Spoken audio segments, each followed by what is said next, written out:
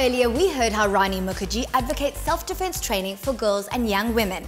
And with South Africa now marking the annual 16 days of activism for no violence against women and children, we decided to make a practical contribution. I attended a class presented by martial arts grandmaster Solly Said on how to prepare myself to deal with danger and how to defend myself in a worst case scenario. Here's what he taught me about channeling my inner warrior.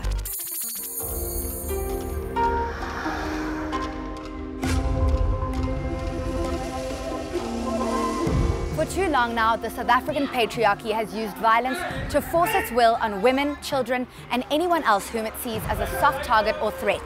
Society and the law have responsibility to take a strong stand against this, but potential victims cannot rely on them. Self-defense skills are now essential, and that's why I'll be spending time with Grandmaster Solly Said. Martial arts expert Solly Said is a Hanshi, a holder of a black belt in the Nine Dan, but he has also mastered kickboxing, Saibo and Kendo, the art of Japanese swordsmanship. To his students, he is Soke, the grandmaster of Kenshu Kai Karate Do. So, okay, why is self-defense such an important skill for women to have? Look at what's happening around us. Every 29 seconds, some woman in South Africa is raped. So you have to learn self-defense. We have to teach this to our men and women. This fear of being attacked is something that we're going to stop. What are some of the warning signs that people can become aware of? The warning signs you can look for is you know, somebody making advances by smiling at you, talking to you. You don't even know the person you should just avoid it because you don't know the person and why is this person approaching you? It's not always verbal, but also body language. We teach people how to raise their five senses so that the sixth sense can come in. A little difficult when it comes to children and girls, but we got to teach them they've got to be cautious. So, Kate, what are the benefits of studying a martial art? Anyone that starts martial arts is going to build up wonderful coordination. The body will be able to move easier and do things that otherwise that person won't be able to do.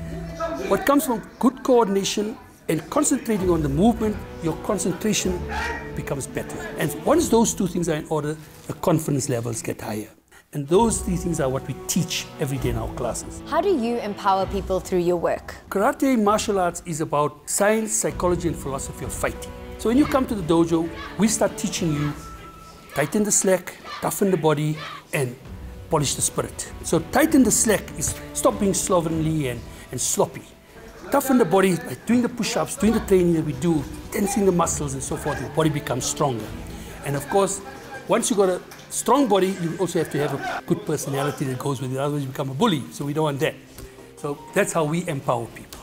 Shall we get started? Yeah. Let's say, for example, Sumaya is going to grab Nikita around the neck. You want to get loose, right? You're going to pull her hands, but it's not going to happen because she's too strong. So now use your two hands.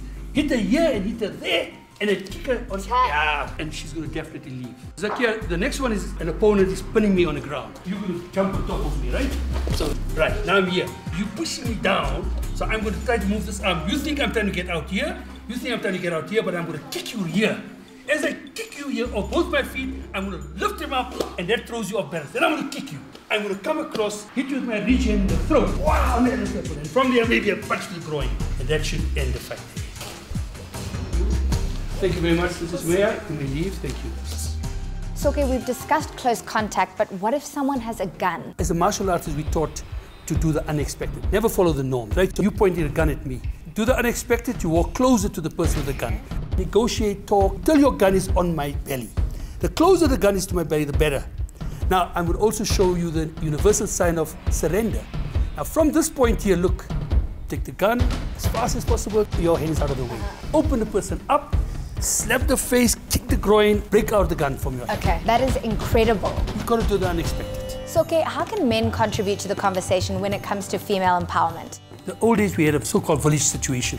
In the village, young men were taken out when they reached puberty and they were made to understand and practice manhood with all the values of what a man should be. We need to get out there as men as martial artists, as mentors, and start talking to the youngsters and explaining things to them, and also giving them the confidence. Because I think a lot of men don't even have the confidence to understand this whole situation.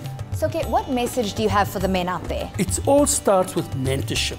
And the mentorship starts with the father as the first mentor of the child. So the boy growing up in the home, must see his father's behavior and action towards his mother, towards his sisters if he's got, and towards aunties, grandparents, whatever it is. So that will teach him to be a protector, not an aggressor. Soke, what is your message for 16 days of activism for no violence against women and children? Whoever's involved in teaching martial arts should get involved and try to make it a nationwide thing. And although it's only 16 days, it can be a kickstart for somebody to start a program, learn as much as they can, and find the enjoyment of it, and also the confidence they'll build from it, and then continue it throughout the year. Soke, today was so incredibly important for our viewers out there. Thank you so much. Us. Go! As a mother, as a sister, and as a woman, it's very important to learn self-defense. Action needs to take place so that this can finally stop. Always remember in a dangerous situation, poke them in the eyes, knee them in the groin and run like hell. Many of us are put off the idea of self-defense because it seems violent. But as I've learned today, there's more involved than mastering kicks, blocks and punches. It's all about doing the unexpected and being able to control fear. We're living in a dangerous world and the way of the spirit warrior enables us to focus the energy of body and mind on surviving. Yeah.